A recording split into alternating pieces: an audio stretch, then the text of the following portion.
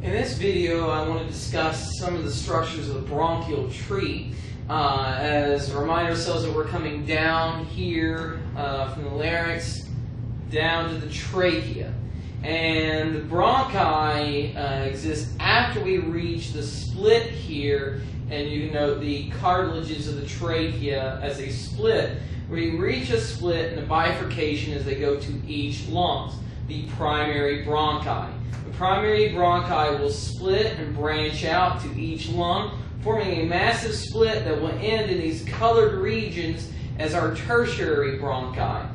Now, as we go from primary bronchi to tertiary bronchi, the tertiary bronchi are attached here to secondary bronchi.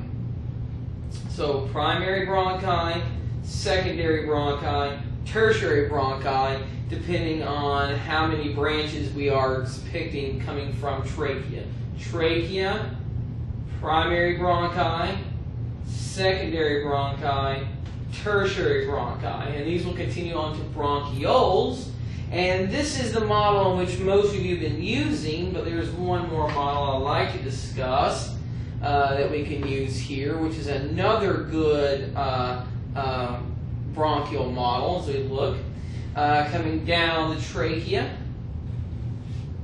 primary bronchi, secondary bronchi, tertiary bronchi in these colored regions.